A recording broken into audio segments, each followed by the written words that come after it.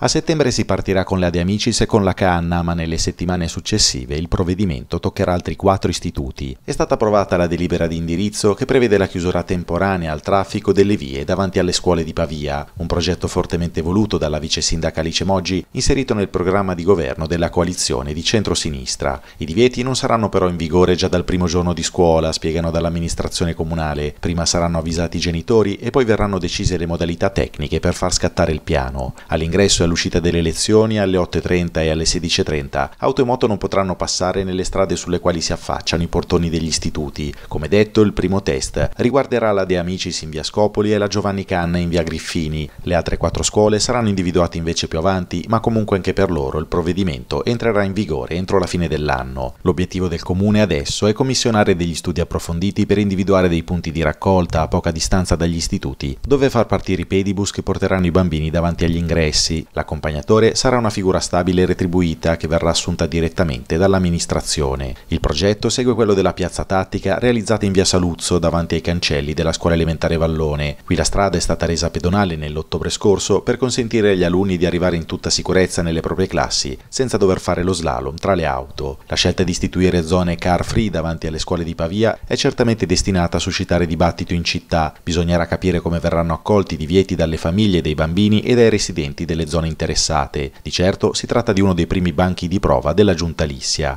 Intanto però c'è già chi si è schierato a favore della nuova delibera. I ragazzi di Fridays for Future parlano di una proposta che risulterebbe fondamentale per rendere Pavia una città più sostenibile. Il bisogno di attuare questo tipo di cambiamento, si legge in una nota diffusa dagli attivisti, dovrebbe essere condiviso da tutte e tutti, poiché il numero di incidenti stradali che vedono coinvolti bambini e bambine nei pressi delle scuole è troppo alto e questa iniziativa permetterebbe di ridurlo notevolmente. Inoltre la presenza di macchine attorno alle scuole aumenta i livelli di inquinamento dell'aria e ciò va a intaccare la salute dei più piccoli. La speranza, conclude il comunicato, è che il progetto venga attuato nei tempi e che sia il primo di una lunga serie che possa portare alla creazione di una città sostenibile.